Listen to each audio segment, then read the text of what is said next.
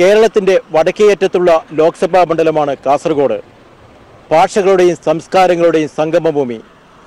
മഹാനായ A K G ഈ മണ്ഡലത്തെ നാല് തവണ പാർലമെന്റിൽ പ്രതിനിധീകരിച്ചിട്ടുണ്ട്. പിന്നീട് എം രാമണ്ണറേയും ടി ഗോവിന്ദനും പി കരുണാകരനും ഈ മണ്ഡലത്തെ ഇടതുപക്ഷത്തിനു വേണ്ടി പ്രതിനിധീകരിച്ചു. കോൺഗ്രസിനു വേണ്ടി രാമചന്ദ്രൻ കടന്നപ്പള്ളിയും ഐ രാമറയും ഈ മണ്ഡലത്തെ പ്രതിനിധീകരിച്ചിട്ടുണ്ട്. ഇത്തവണ മുഖ്യ പോരാട്ടം എൽ ഡി എഫിലെ കെ പി സതീഷ് ചന്ദ്രനും യു ഡി എഫിലെ രാജ്മോഹൻ ഉണ്ണിത്താനും എൻ ഡി എയിലെ രവീശ തന്ത്രി കുണ്ടാറും തമ്മിലാണ്. സ്ഥാനാർത്ഥികളെല്ലാം അണിനിരുന്നതോടെ പ്രചാരണവും മുറുകിക്കഴിഞ്ഞു. ഈ സ്ഥാനാർത്ഥികൾക്കൊപ്പം സഞ്ചരിക്കുകയാണ് Kairali people T V team. കാസർഗോഡിന്റെ പ്രിയപ്പെട്ട സഖാവ് കെ പി എസ്. ആ നിഷ്കളങ്ക ശബ്ദം നിറയട്ടെ ഇന്ത്യൻ പാർലമെന്റിനകത്ത് സഖാവ് കെ പി സതീഷ് ചന്ദ്രൻ കാസർഗോഡിന്റെ നഗര ഗ്രാമ ഹൃദയങ്ങളെ മറിച്ചുകൊണ്ടിതാ ഈ വാഹനത്തിന്റെ പിന്നാലെ കടന്നു വരികയാണ്.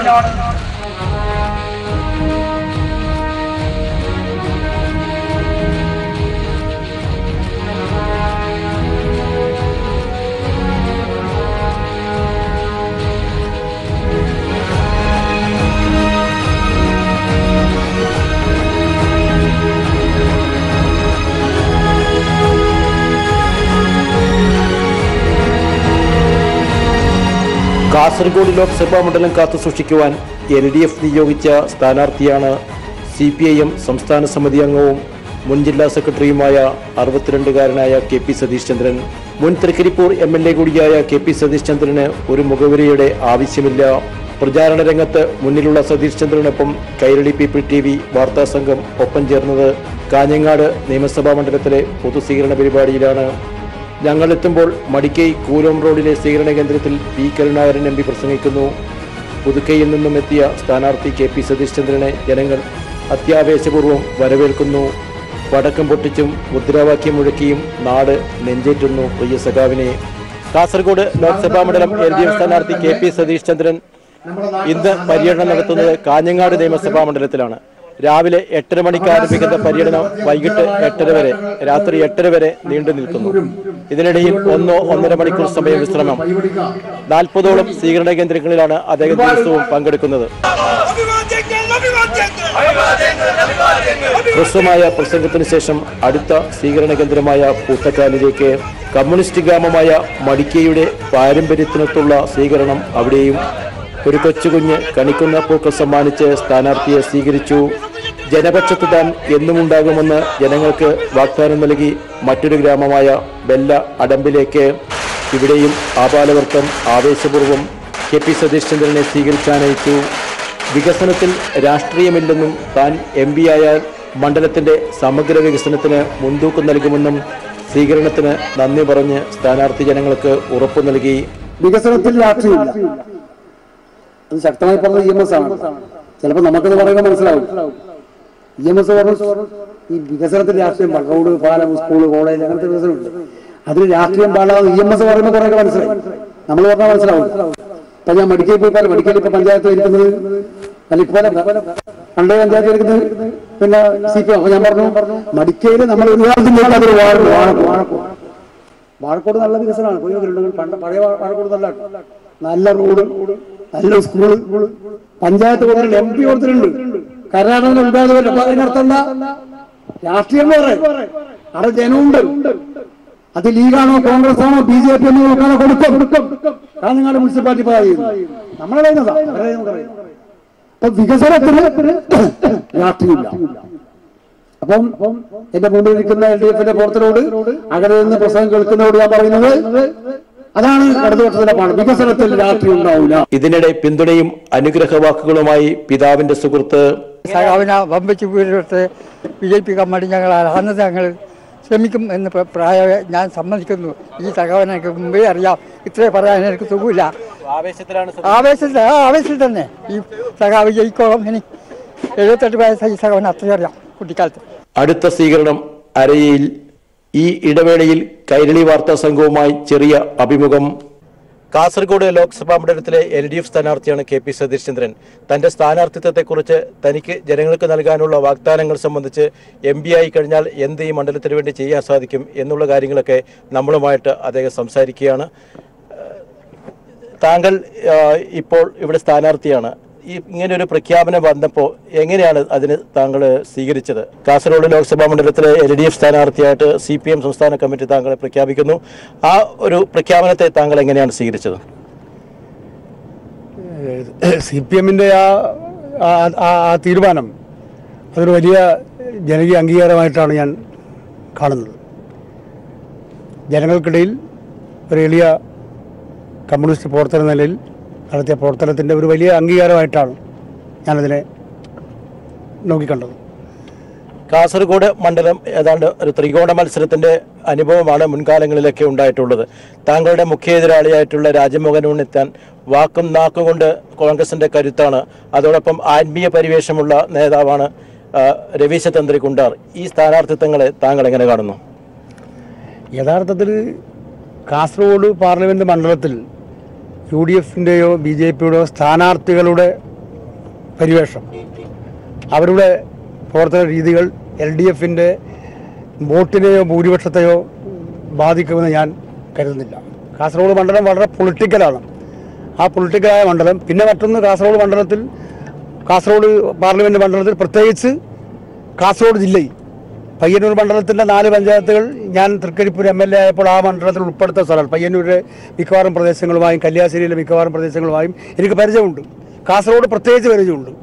അപ്പോൾ എന്റെ പൊതുപ്രവർത്തന യുവജന പ്രവർത്തനമായും വിദ്യാർത്ഥി പ്രവർത്തനമായിട്ടും പാർട്ടി ജില്ലാ സെക്രട്ടറി ആയിരുന്നപ്പോഴും തൃക്കരിപ്പൂർ എം എൽ എ ആയിരുന്നപ്പോഴും കർഷക തൊഴിലാളി നേതാവായിരുന്നപ്പോഴും ഈ മണ്ഡലത്തിൽ പ്രത്യേകിച്ച് കാസർഗോഡ് ജില്ലയിലെ ജനങ്ങളുമായി ആഴത്തിൽ ഇടപെടാൻ കഴിഞ്ഞിട്ടുണ്ട് വിവിധ ജനവിഭാഗങ്ങളായിട്ട്. അത് തന്നെയാണ് എന്റെ കരുത്ത്. എ കെ ജി മുതൽ നാല് പ്രമുഖരായ എം പിമാരാണ് സി പി എമ്മിന് കാസർഗോഡ് ലോക്സഭാ മണ്ഡലത്തിൽ പ്രതിനിധീകരിച്ച് അവർ തുടങ്ങിവെച്ച ഒരുപാട് വികസന പദ്ധതികൾ. ഇന്ന് കാസർഗോഡ് ലോക്സഭാ മണ്ഡലം ഒരു അവികസിത മണ്ഡലമെന്ന് നമുക്ക് പറയാൻ സാധിക്കില്ല. തുടർന്ന് അങ്ങോട്ടുള്ള വികസന പദ്ധതികൾ താങ്കൾ എം പി ആയി തിരഞ്ഞെടുക്കപ്പെടുകയാണെങ്കിൽ എങ്ങനെയായിരിക്കും? അത് നിശ്ചയമായും കഴിഞ്ഞ പതിനഞ്ച് വർഷം കാസർഗോഡിന്റെ വികസന മേഖലയിൽ വളരെ നിർണായകമായ വഴുത്തിരിവ് സൃഷ്ടിക്കുന്ന ഒരു കാലഘട്ടമായിരുന്നു. പ്രത്യേകിച്ച് നമ്മുടെ കാഞ്ഞങ്ങാട് കാണിയൂർ റെയിൽപാത. ഒരുപാട് റെയിൽവേ സ്റ്റേഷനിലെ വികസനങ്ങൾ ഓവർ ബ്രിഡ്ജുകൾ അങ്ങനെ ഒരുപാട് കാര്യങ്ങളുണ്ട്. അടക്ക കൃഷിക്കാരുടെ പ്രശ്നം അതിശക്തമായി കർണാടക ഉന്നയിച്ചതാണ്. അപ്പോൾ ആ തുടങ്ങി വെച്ച കാര്യങ്ങൾ അത് അത് സംബന്ധിച്ച് ഒന്നുകൂടി പഠനം നടത്തി അത് പൂർത്തീകരിക്കാനുള്ള വലിയൊരു ശ്രമം ഉണ്ടാകും അതോടൊപ്പം കേന്ദ്ര സർക്കാരിന് സമ്മർദ്ദം നട ചെലുത്തി പുതിയ വികസന പദ്ധതികൾ കാസർഗോഡ് മണ്ഡലത്തിലേക്ക് കൊണ്ടുവരാനും കാര്യക്ഷമമായി തന്നെ ഇടപെടാൻ ശ്രമിക്കും. രാഷ്ട്രീയ എതിരാളികൾ പ്രധാനമായും ഉന്നയിക്കുന്നൊരു അവർ പ്രചാരണത്തിൽ കാര്യമായി ഉപയോഗിക്കുന്നത് സി പി എം അക്രമ രാഷ്ട്രീയത്തിന്റെ വക്താക്കളാണ്. അക്രമത്തിനെതിരായിരിക്കണം ഇത്തവണത്തെ വോട്ട് എന്ന ആവശ്യം അവർ മുന്നോട്ട് ജനങ്ങളുടെ മുമ്പാകെ അവതരിപ്പിക്കുകയാണ്. എങ്ങനെയാണ് ഇതിനെ എൽ ഡി എഫും സി പി എമ്മും നേരിടുന്നത്? യഥാർത്ഥത്തിൽ അക്രമത്തിനെതിരായി ജനങ്ങൾ വോട്ട് ചെയ്യണമെന്ന് പറഞ്ഞാൽ അവർ എൽ ഡി എഫിനാണ് വോട്ട് ചെയ്യുക. പക്ഷേ കാസർഗോഡ് ജില്ലയിലും മണ്ഡലത്തിലും ഏറ്റവും കൂടുതൽ ആക്രമിക്കപ്പെട്ട പാർട്ടി സി പി എം ആണ്. കാസർഗോഡ് ജില്ലയിൽ മാത്രം മുപ്പത്തേഴ് സി പി എം പ്രവർത്തകർ കൊടിയപ്പെട്ടിട്ടുണ്ട് നമ്മുടെ രാഷ്ട്രീയ ചരിത്രത്തിൽ ആദ്യമായിട്ടാണ് ഒരു രാഷ്ട്രീയ സംഘടനത്തിൽ അഞ്ചു പേരെ ഒറ്റ സംഭവത്തിൽ കൊലപ്പെടുന്നത് ചീമേനിയിൽ കോൺഗ്രസ് ക്രിമിനൽ സംഘം കൊലപ്പെടുത്തിയ അവിടെയാണ്. അപ്പം ഏറ്റവും കൂടുതൽ കൊലയപ്പെടുന്നത് ഇരകളാക്കപ്പെട്ടവർ സി പി എം ആണ്. എൽ ഡി എഫ് ആണ് അപ്പോൾ അക്രമ രാഷ്ട്രീയത്തിനെതിരെ പറഞ്ഞാൽ അത് ബലത്തിൽ ഗുണം ചെയ്യുക. യു ഡി എഫിനല്ല എൽ ഡി എഫിനാണ് താങ്കൾക്ക് കാസർഗോഡ് ലോക്സഭാ മണ്ഡലത്തിലെ ജനങ്ങൾക്ക് നൽകാനുള്ള വാഗ്ദാനം എന്താണ്? അല്ല കാസർഗോഡ് മണ്ഡലത്തിലെ ജനങ്ങൾക്ക് നൽകാനുള്ള വാഗ്ദാനം ജനങ്ങളോടൊപ്പം നിന്ന് പ്രവർത്തിക്കുന്നതാണ്. പാർലമെന്റിനകത്തും പുറത്തും ജനകീയ ആവശ്യങ്ങൾക്ക് വേണ്ടി കമ്മ്യൂണിസ്റ്റ് ഇടതുപക്ഷ രാഷ്ട്രീയത്തിന്റെ കാഴ്ചപ്പാട് ഉയർത്തിപ്പിടിച്ചുകൊണ്ട് പ്രവർത്തിക്കും. വികസന കാര്യത്തിൽ ഒരു രാഷ്ട്രീയം ഉണ്ടാവില്ല. കക്ഷി രാഷ്ട്രീയ ഭേദമില്ലാതെ ജാതി മത ഭേദമില്ലാതെ തൃക്കരിപ്പൂരിൽ പത്ത് കൊല്ലം എം എൽ എ ആയപ്പോൾ ഏത് നിലയിലാണോ വികസന പ്രവർത്തനം നടത്തിയത്? അതേ മാതൃക പാർലമെന്റ് അംഗം എന്ന നിലയിൽ ആ പ്രദേശം ഏത് പാർട്ടിയുടേതായാലും എൽ ഡി എഫ് ആയാലും യു ഡി എഫ് ആയാലും ബി ജെ പി ആയാലും ഏത് പാർട്ടിയുടേതായാലും പാർട്ടി ഭേദം നോക്കാതെ വികസന പദ്ധതികൾ കാസർഗോഡ് മണ്ഡലത്തിന്റെ പരമാവധി കേന്ദ്രങ്ങളിൽ എത്തിക്കാൻ എം പി എന്ന നിലയിൽ ജനങ്ങൾ തിരഞ്ഞെടുക്കുകയാണെങ്കിൽ പ്രവർത്തിക്കും. പ്രചാരണത്തിന്റെ ഏതാണ്ട് പകുതി പകുതി ഘട്ടത്തിലേക്ക് എത്തി നിൽക്കുകയാണ്. മാത്രമല്ല മൂന്നാം വട്ടമാണ് താങ്കൾ ഈ മണ്ഡലത്തിൽ പര്യടനം നടത്തുന്നത്. ഇപ്പോൾ താങ്കൾക്ക് തോന്നുന്ന ഒരു അനുഭവം എന്താണ്? എന്താണ് തെരഞ്ഞെടുപ്പ് ഫലത്തെക്കുറിച്ചുള്ള താങ്കളുടെ പ്രതീക്ഷ? ഇപ്പോൾ എനിക്ക് തോന്നുന്നത് എൽ ഡി എഫിന് അനുകൂലമായ ഒരു തരംഗം പ്രത്യക്ഷപ്പെട്ടു തുടങ്ങിയിട്ടുണ്ട്. കുട്ടികൾ ചെറുപ്പക്കാർ സാധാരണ നമ്മൾ മലയാളത്തിൽ ഒരു വാക്കില്ല ആബാലവൃദ്ധം ജനങ്ങൾ എന്നുള്ളത് ഇപ്പോൾ സ്വീകരണം നിങ്ങൾ കാണുന്നില്ലേ? രാവിലെ പത്ത് മണിക്ക് നട്ടുച്ചക്ക് ഉറക്കം ആബാലവൃദ്ധം ജനങ്ങളാണ്. സമൂഹത്തിന്റെ നാനാ മേഖലയിൽപ്പെട്ട ആബാലവൃദ്ധം ജനങ്ങളാണ് എൽ ഡി എഫ് സ്ഥാനാർത്ഥിക്ക് അഭിവാദ്യങ്ങൾ അർപ്പിക്കാൻ സ്വീകരണ കേന്ദ്രങ്ങൾ എത്തുന്നത് അപ്പം കാസർഗോഡ് പാർലമെന്റ് തെരഞ്ഞെടുപ്പിൽ എൽ ഡി എഫിന് അനുകൂലമായ ജനങ്ങളുടെ ഒരു മുന്നേറ്റം. എൽ ഡി എഫ് എന്ന് മാത്രം പറയാൻ പറ്റില്ല. അതിന് പുറത്ത് ഒരു ജനകീയ മുന്നേറ്റം എൽ ഡി എഫിനെ വിജയിപ്പിക്കാൻ ഈ മണ്ഡലത്തിലുണ്ട് എന്ന് തെളിയിക്കുന്ന തരത്തിലാണ് ജനങ്ങളുടെ പ്രതികരണം.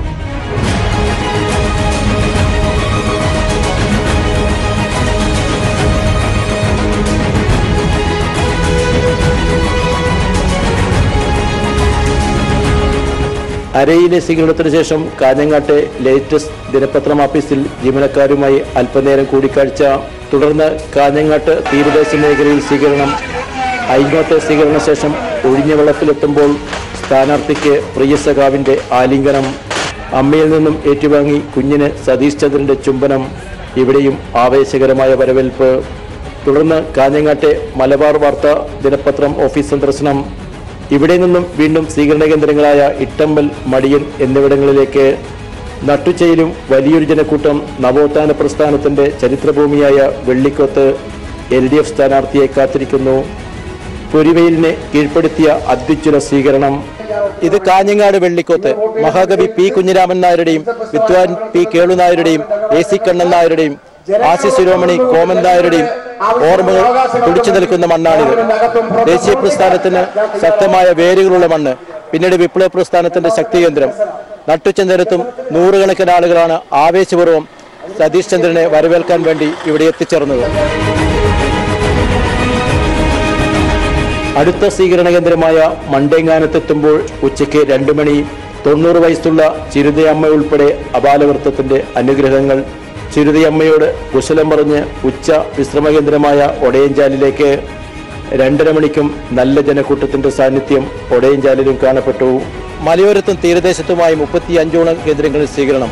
രാത്രി ഏറെ വൈകി മടിക്കയിലെ ബംഗളത്ത് സ്വീകരണം അവസാനിപ്പിക്കുമ്പോൾ ചരിത്രം വിജയം നേടുമെന്നുള്ള ആത്മവിശ്വാസം കെ പി സതീഷ് ചന്ദ്രന് കേരളത്തിന്റെ വടക്കേയറ്റത്തുള്ള ലോക്സഭാ മണ്ഡലമാണ് കാസർഗോഡ്. ഭാഷകളുടെയും സംസ്കാരങ്ങളുടെയും സംഗമഭൂമി. മഹാനായ എ കെ ജി ഈ മണ്ഡലത്തെ നാല് തവണ പാർലമെന്റിൽ പ്രതിനിധീകരിച്ചിട്ടുണ്ട്. പിന്നീട് എം രാമണ്ണറേയും ടി ഗോവിന്ദനും പി കരുണാകരനും ഈ മണ്ഡലത്തെ ഇടതുപക്ഷത്തിനു വേണ്ടി പ്രതിനിധീകരിച്ചു. കോൺഗ്രസിനു വേണ്ടി രാമചന്ദ്രൻ കടന്നപ്പള്ളിയും ഐ രാമറയും ഈ മണ്ഡലത്തെ പ്രതിനിധീകരിച്ചിട്ടുണ്ട്. ഇത്തവണ മുഖ്യ പോരാട്ടം എൽ ഡി എഫിലെ കെ പി സതീശ്ചന്ദ്രനും യു ഡി എഫിലെ രാജ്മോഹൻ ഉണ്ണിത്താനും എൻ ഡി എയിലെ രവീശ തന്ത്രി കുണ്ടാറും തമ്മിലാണ്. സ്ഥാനാർത്ഥികളെല്ലാം അണിനിരുന്നതോടെ പ്രചാരണവും മുറുകിക്കഴിഞ്ഞു. ഈ സ്ഥാനാർത്ഥികൾക്കൊപ്പം സഞ്ചരിക്കുകയാണ് Kairali people T V team. കാസർഗോഡിന്റെ പ്രിയപ്പെട്ട സഖാവ് കെ പി എസ്. ആ നിഷ്കളങ്ക ശബ്ദം നിറയട്ടെ ഇന്ത്യൻ പാർലമെന്റിനകത്ത് സഖാവ് കെ പി സതീഷ് ചന്ദ്രൻ. കാസർഗോഡിന്റെ നഗര ഗ്രാമ ഇളക്കി മറിച്ചുകൊണ്ടിതാ ഈ വാഹനത്തിന്റെ തൊട്ട് പിന്നാലെ കടന്നു വരികയാണ്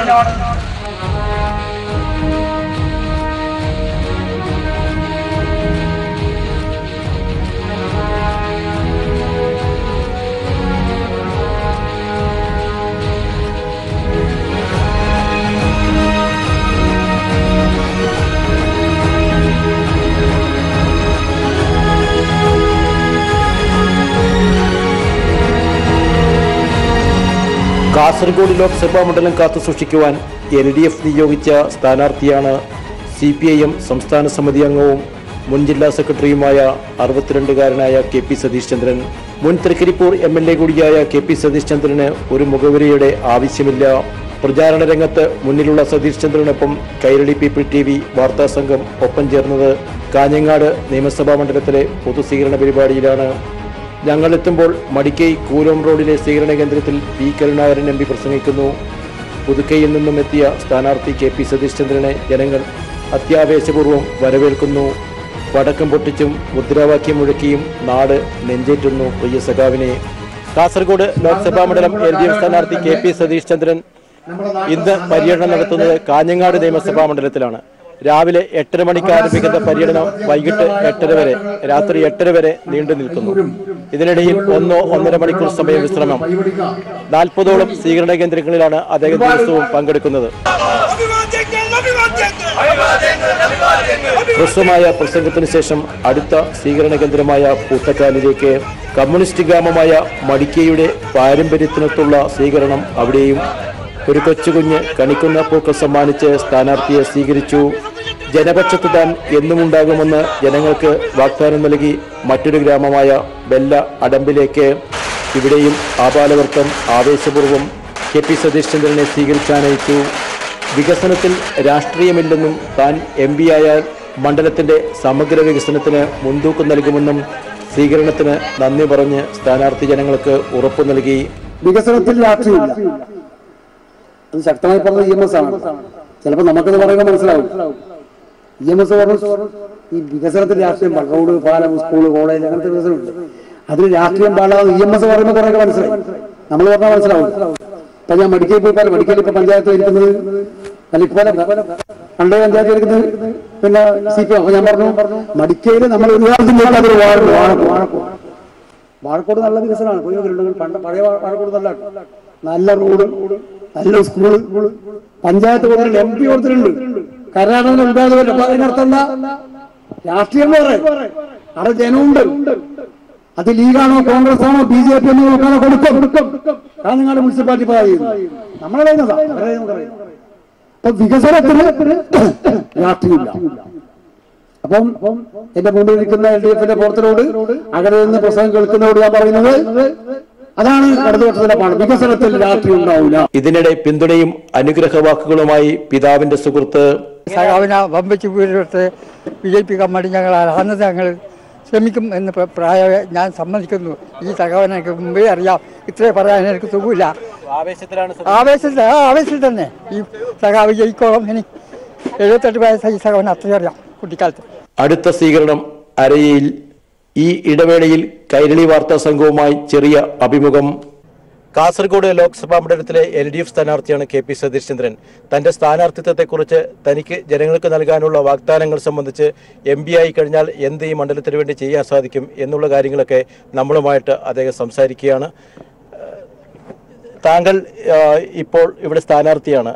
ഈ ഇങ്ങനെ ഒരു പ്രഖ്യാപനം വന്നപ്പോൾ എങ്ങനെയാണ് അതിന് താങ്കൾ സ്വീകരിച്ചത്? കാസർഗോഡ് ലോക്സഭാ മണ്ഡലത്തിലെ എൽ ഡി എഫ് സ്ഥാനാർത്ഥിയായിട്ട് സി പി എം സംസ്ഥാന കമ്മിറ്റി താങ്കളെ പ്രഖ്യാപിക്കുന്നു. ആ ഒരു പ്രഖ്യാപനത്തെ താങ്കൾ എങ്ങനെയാണ് സ്വീകരിച്ചത്? സി പി എമ്മിന്റെ ആ തീരുമാനം അതൊരു വലിയ ജനകീയ അംഗീകാരമായിട്ടാണ് ഞാൻ കാണുന്നത്. ജനങ്ങൾക്കിടയിൽ ഒരു എളിയ കമ്മ്യൂണിസ്റ്റ് പ്രവർത്തന നിലയിൽ നടത്തിയ പ്രവർത്തനത്തിന്റെ ഒരു വലിയ അംഗീകാരമായിട്ടാണ് ഞാനതിനെ നോക്കിക്കണ്ടത്.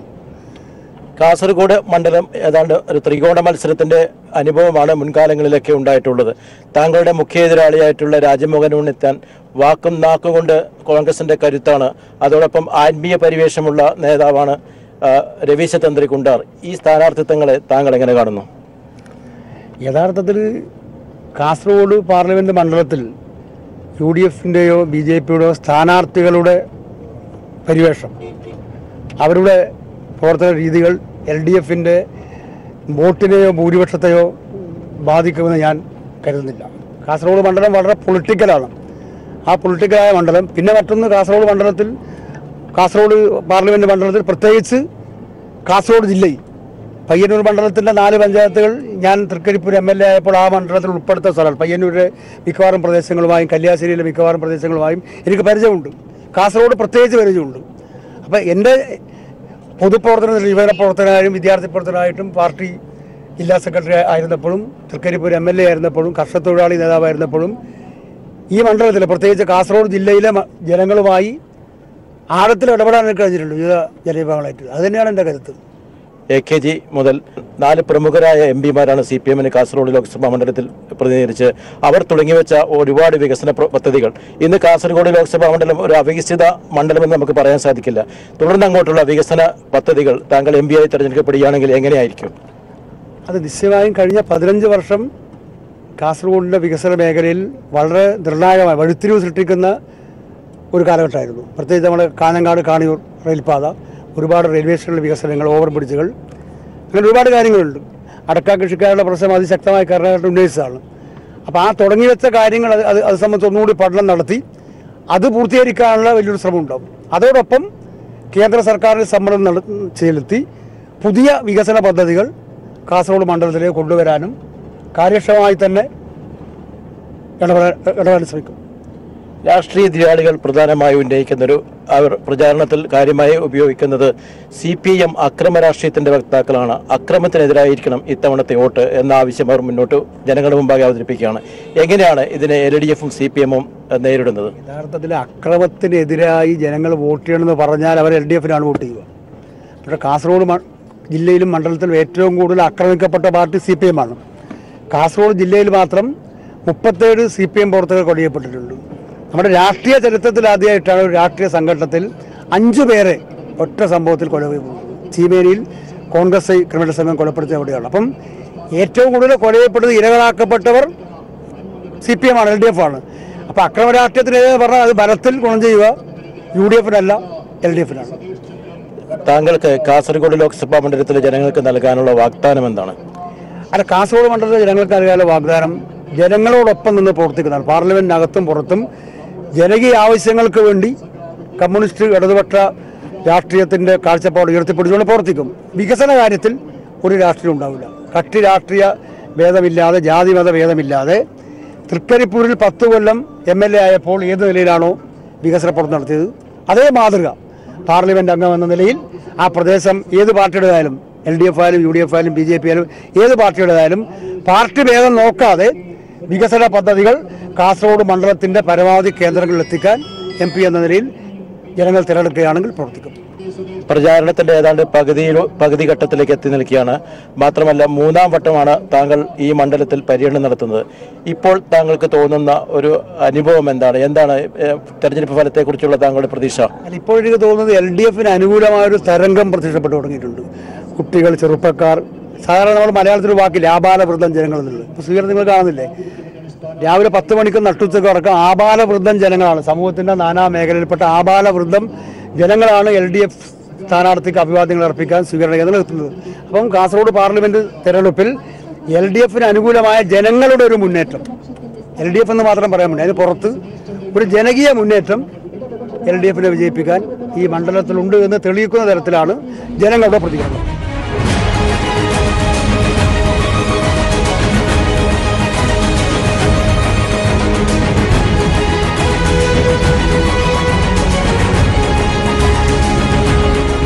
അരയിലെ സ്വീകരണത്തിന് ശേഷം കാഞ്ഞങ്ങാട്ടെ ലേറ്റസ്റ്റ് ദിനപത്രം ഓഫീസിൽ ജീവനക്കാരുമായി അല്പനേരം കൂടിക്കാഴ്ച.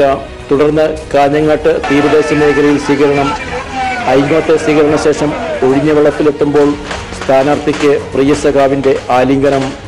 അമ്മയിൽ നിന്നും ഏറ്റുവാങ്ങി കുഞ്ഞിന് സതീഷ് ചന്ദ്രന്റെ ചുംബനം. ഇവിടെയും ആവേശകരമായ വരവേൽപ്പ്. തുടർന്ന് കാഞ്ഞങ്ങാട്ടെ മലബാർ വാർത്ത ദിനപത്രം ഓഫീസ് സന്ദർശനം. ഇവിടെ നിന്നും വീണ്ടും സ്വീകരണ കേന്ദ്രങ്ങളായ ഇട്ടമ്പൽ മടിയൻ എന്നിവിടങ്ങളിലേക്ക് നട്ടുച്ചയിലും വലിയൊരു ജനക്കൂട്ടം നവോത്ഥാന പ്രസ്ഥാനത്തിന്റെ ചരിത്രഭൂമിയായ വെള്ളിക്കോത്ത് എൽ ഡി എഫ് സ്ഥാനാർത്ഥിയെ കാത്തിരിക്കുന്നു. പൊരിവെയിലിനെ കീഴ്പ്പെടുത്തിയ അത്യുജ്വല സ്വീകരണം.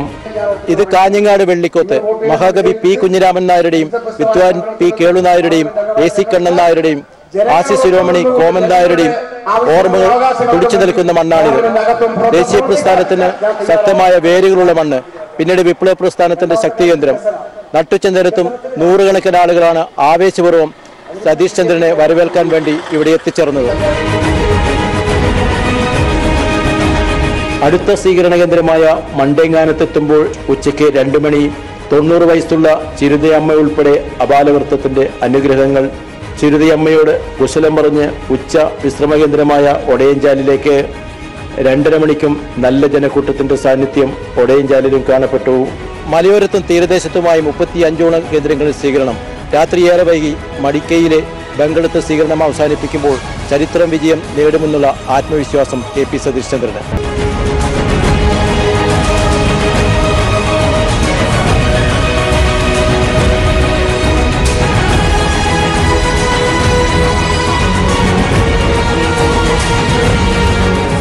D F സ്ഥാനാർത്ഥി Rajmohan Unnithan K P C C general സെക്രട്ടറിയാണ്. തലശ്ശേരിയിലെ തോൽവിക്ക് ശേഷം കോൺഗ്രസ് കാസർകോട്ടേക്ക് മറ്റൊരു അംഗം കുറിച്ചു വിട്ടിരിക്കുന്ന സ്ഥാനാർത്ഥി. വാക്കും നാക്കും കൊണ്ട് കരുത്ത് പ്രകടിപ്പിക്കുന്ന ചാനൽ ചർച്ചകളിലെ കോൺഗ്രസ് വക്താവ്. കാഞ്ഞങ്ങാട്ടെ ആനന്ദാശ്രമത്തിൽ വെച്ചാണ് രാജ്മോഹൻ ഉണ്ണിത്താന്റെ പ്രചാരണത്തിൽ കൈരളി വാർത്താ സംഘം ചേരുന്നത്. വ്യക്തികളെയും സ്ഥാപനങ്ങളെയും സന്ദർശിച്ച് വോട്ടഭ്യർത്ഥന തുടരുകയാണ് ഉണ്ണിത്താൻ. ഒരു അട്ടിമറി വിജയം പ്രതീക്ഷിച്ചുകൊണ്ട് ആഗ്രഹിച്ചുകൊണ്ടാണ് യു ഡി എഫ് സ്ഥാനാർത്ഥി രാജ്മോഹൻ ഉണ്ണിത്താൻ കാസർഗോഡ് മത്സരിക്കുന്നത്. അഹ് വ്യക്തികളെയും സ്ഥാപനങ്ങളെയും കണ്ടുകൊണ്ടുള്ള പര്യടനത്തിലാണ് അദ്ദേഹം ഇപ്പോൾ ആനന്ദ് കാഞ്ഞങ്ങാട് ആനന്ദാശ്രമത്തിൽ നമ്മൾ ഞങ്ങൾ അദ്ദേഹത്തോടൊപ്പം ചേരുകയാണ്. സ്വാമിജിയെ സന്ദർശിച്ച ശേഷം ഉണ്ണിത്താൻ ആനന്ദാശ്രമത്തിലെ സന്ദർശകരെ കണ്ട് വോട്ടഭ്യർത്ഥിച്ചു. വോട്ടില്ലെങ്കിലും രാജ്മോഹൻ ഉണ്ണിത്താൻ വിദേശ വനിതകളെയും പരിചയപ്പെടാൻ ശ്രമിച്ചു. ഒടുവിൽ അവരുടെ അനുഗ്രഹവും ചോദിച്ചു വാങ്ങി. ആശ്രമത്തിൽ നിന്നും പുറത്തിറങ്ങിയ സ്ഥാനാർത്ഥി രാംനഗർ ഖദർ കൈത്രി സഹകരണ സംഘം സന്ദർശിച്ചു. അവിടെയും സ്ത്രീ തൊഴിലാളികളോട് ഓട്ടഭ്യർത്ഥന നടത്തിയ ഉണ്ണിത്താൻ കൗതുകത്തിന് ചർക്കയിൽ നൂൽ നൂൽക്കാൻ ശ്രമം നടത്തി. ആദ്യ ശ്രമം പരാജയപ്പെട്ടുവെങ്കിലും പിന്നീട് വിജയിച്ചു. അടുത്ത സ്വീകരണം പടന്നക്കാട്ടാണ്. അങ്ങോട്ടുള്ള യാത്രക്കിടയിൽ ഉണ്ണിത്താനുമായി കൈരളി ടി വിക്ക് അഭിമുഖം. ഇടതുപക്ഷത്തിന്റെ ശക്തി തുറക്കുമെന്ന് വിശേഷിപ്പിക്കപ്പെടുന്ന കാസർഗോഡ് ലോക്സഭാ മണ്ഡലം ഇത്തവണ പിടിച്ചെടുക്കുവാൻ കോൺഗ്രസ് പാർട്ടി നേതൃത്വം ഏൽപ്പിച്ചിരിക്കുന്ന ആ ദൗത്യം ഏൽപ്പിച്ചിരിക്കുന്നത് രാജ്മോഹൻ ഉണ്ണിത്താനെയാണ്. അദ്ദേഹം നമ്മളും നമ്മളോടൊപ്പം ചേരുകയാണ്. സർ ഇത്തവണ താങ്കൾ ഇവിടെ മത്സരിക്കാൻ പ്രതീക്ഷിച്ചിരുന്നോ മത്സരം പ്രതീക്ഷിച്ചിരുന്നോ? പാർട്ടിയിൽ നിന്ന് ഇങ്ങനെ ഒരു സ്ഥാനാർത്ഥിത്വം താങ്കൾ പ്രതീക്ഷിച്ചിരുന്നോ? എനിക്കിത്തവണ പാർലമെന്റിൽ മത്സരിക്കാൻ ഒരു അവസരം പാർട്ടി തരും എന്ന് ഉറച്ച വിശ്വാസം എനിക്കുണ്ടായിരുന്നു. പക്ഷെ അത് കാസർഗോഡ് മണ്ഡലമാണെന്നുള്ള ഒരു ധാരണ എനിക്കുണ്ടായിരുന്നില്ല. കേരളത്തിൽ ഏതെങ്കിലും ഒരു മണ്ഡലത്തിൽ ഞാൻ സ്ഥാനാർത്ഥിയാകുമെന്നായിരുന്നു എനിക്ക് കിട്ടിയ അറിവ്. പക്ഷേ ആദ്യം വടകര പരിഗണിച്ചു. ഞാൻ മത്സരിക്കണമെന്ന് ആഗ്രഹിച്ചത് ആലപ്പുഴയിലോ തൃശ്ശൂരോ ആണ്. പക്ഷെ പാർട്ടി എന്നോട് കാസർഗോഡ് പോകാൻ ആജ്ഞാപിച്ചു. ഞാൻ ആജ്ഞ സ്വീകരിച്ചു. പാർട്ടി എന്ത് പറയുന്നോ അതെന്നും കേട്ടിട്ടുള്ള ഒരു രാഷ്ട്രീയ പ്രവർത്തകനാണ് ഞാൻ. ഇത്തവണ പാർട്ടി എന്നോട് കാസർഗോഡാണ് പോകാൻ പറഞ്ഞത്. കോളേജിൽ പഠിക്കുന്ന കാലത്ത് പാർട്ടി എന്നോട് പറഞ്ഞത് എം. എ. ബിബിക്കെതിരെ മത്സരിക്കാൻ. ഞാൻ മത്സരിച്ചു ജയിച്ചു. പിന്നെ പാർട്ടി എന്നോട് പറഞ്ഞത് ശ്രീ കോടിയേരി ബാലകൃഷ്ണനെതിരെ തലശ്ശേരി മത്സരിക്കാൻ ഞാൻ മത്സരിച്ചു. അൻപതിനായിരത്തോളം വോട്ട് കുറച്ച് ഒമ്പതിനായിരത്തി താഴെയായി കൊണ്ടുവരാൻ എനിക്ക് സാധിച്ചു. ഇപ്പൊ പാർട്ടി പറയുന്നു കാസർഗോഡ് മത്സരിക്കാൻ. ഈ കാസർഗോഡ് തലശ്ശേരിയുമായി താരതമ്യം ചെയ്യുമ്പോൾ എനിക്കൊന്നുമല്ല. ഇടതുപക്ഷത്തിന്റെ ശക്തി ദുർഗങ്ങളിലെല്ലാം താങ്കളെ തന്നെ മത്സരിക്കാൻ നിയോഗിക്കുന്നു. ഇത് താങ്കൾ വിജയിച്ചു വരണമെന്ന ആത്മാർത്ഥ പാർട്ടിക്കുള്ളത് കൊണ്ട് തന്നെയാണോ? കമ്മ്യൂണിസ്റ്റ് പാർട്ടിയുടെ കോട്ട കൊത്തളങ്ങൾ ഓരോന്നോരോന്ന് ഇടിഞ്ഞ് തകർന്ന് തരിപ്പണമായിക്കൊണ്ടിരിക്കുകയാണ്. ബംഗാൾ പൂർണമായി തകർന്നു. ത്രിപുര പൂർണമായി തകർന്നു. രണ്ടായിരത്തി പത്തൊമ്പതിലെ പാർലമെന്റ് തെരഞ്ഞെടുപ്പോടുകൂടി കേരളത്തിലും മാർക്സിസ്റ്റ് പാർട്ടി തകരും. കാസർഗോഡ് നേരത്തെ പറഞ്ഞു കേട്ടിരുന്ന പേര് അഡ്വക്കേറ്റ് ബി സുബ്ബയ്യറയുടെ പേരായിരുന്നു. അദ്ദേഹത്തിന്റെ ആയിരുന്നു ഒന്നാം ലിസ്റ്റിൽ ഒന്നാം നമ്പറുകാരനായിട്ടുണ്ടായിരുന്നത് എന്നാൽ താങ്കൾ സ്ഥാനാർത്ഥിയായി വന്നു. ഇതോടെ ഭാഷാ ന്യൂനപക്ഷങ്ങളുടെ പിന്തുണ യു ഡി എഫിന് നഷ്ടപ്പെട്ടു എന്നുള്ളൊരു പ്രചാരണമുണ്ട്.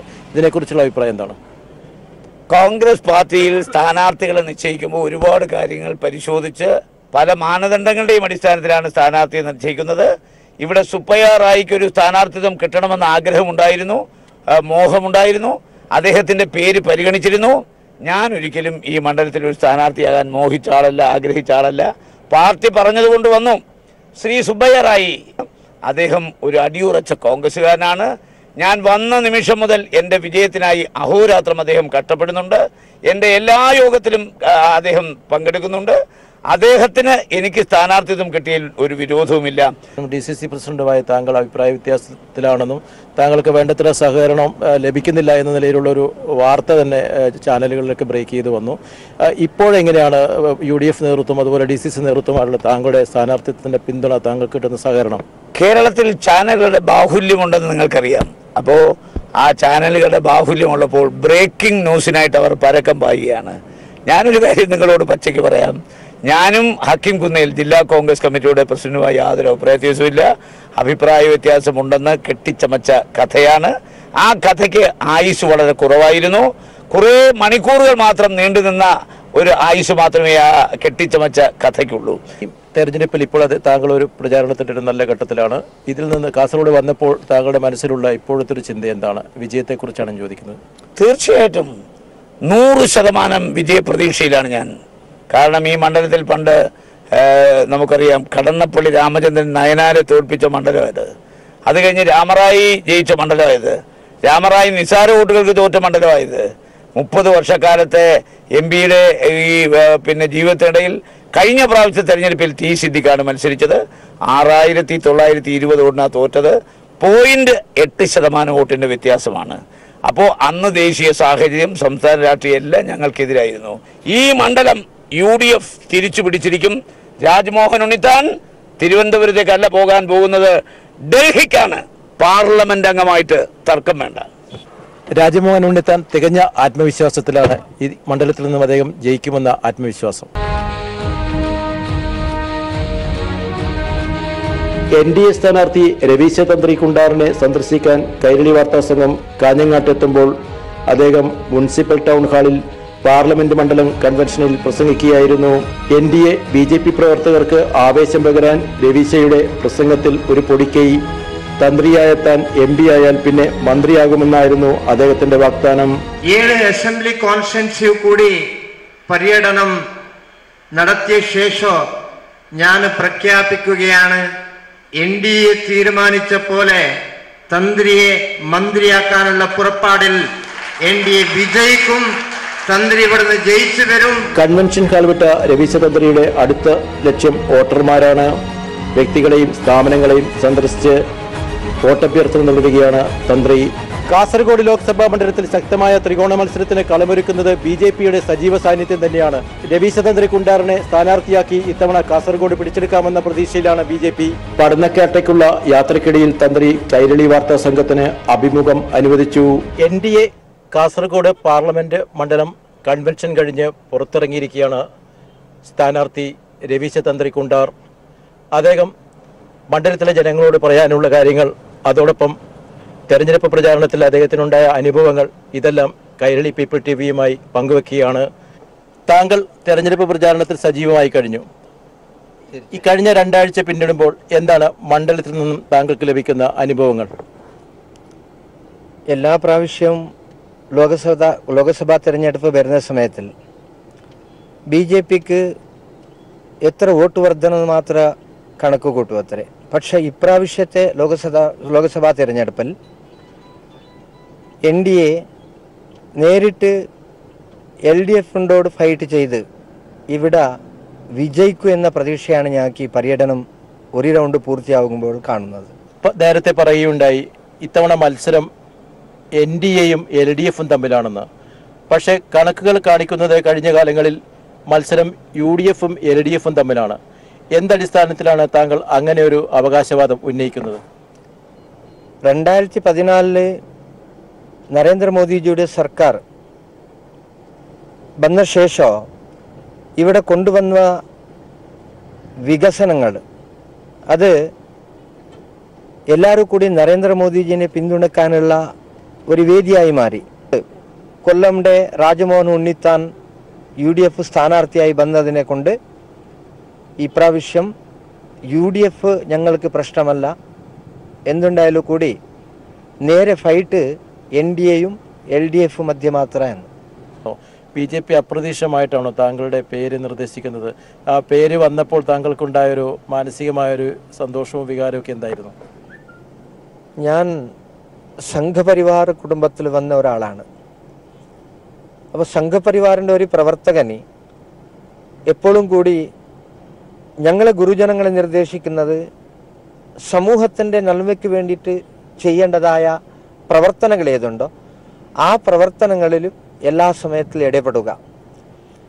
ഇപ്പോൾ സ്വപ്നത്തിൽ വിചാരിക്കാത്ത ഒരു വിഷയമാണ് എനിക്ക് അറിയപ്പെടുന്നത് ലാസ്റ്റ് മിനിറ്റ് പത്തൊമ്പതാം തീയതിക്കാണ് അറിയുന്നത് എനിക്ക്.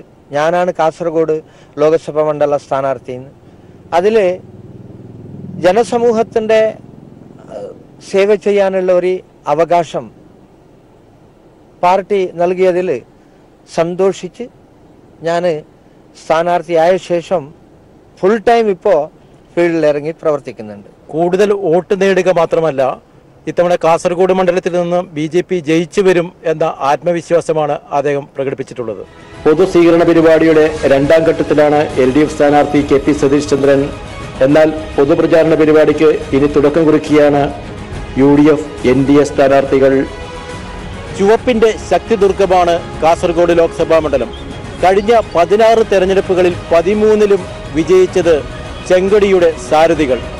ഇത്തവണയും പ്രചാരണ രംഗത്ത് എൽ ഡി എഫ് തന്നെ ബഹുദൂരം മുന്നിൽ. കെ പി സതീഷ് ചന്ദ്രനൊപ്പം ഓടിയെത്തുവാൻ രാജ്മോഹൻ ഉണ്ണിത്താനും രവീശ തന്ത്രിയും പാടുപെടുകയാണ്. ഇതാണ് നമുക്ക് കാണാൻ കഴിയുന്ന മണ്ഡലത്തിലെ പൊതുചിത്രം.